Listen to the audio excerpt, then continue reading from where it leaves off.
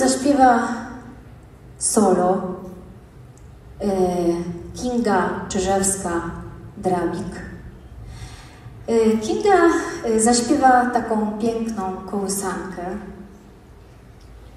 bo jak Chrystus się narodził, to myślę, że najpiękniejsze słowa dla Niego na początek to właśnie kołysanka.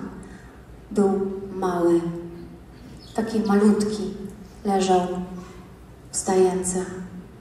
I Kinga zaśpiewa mu teraz Ucichłeś, Jezuleńku.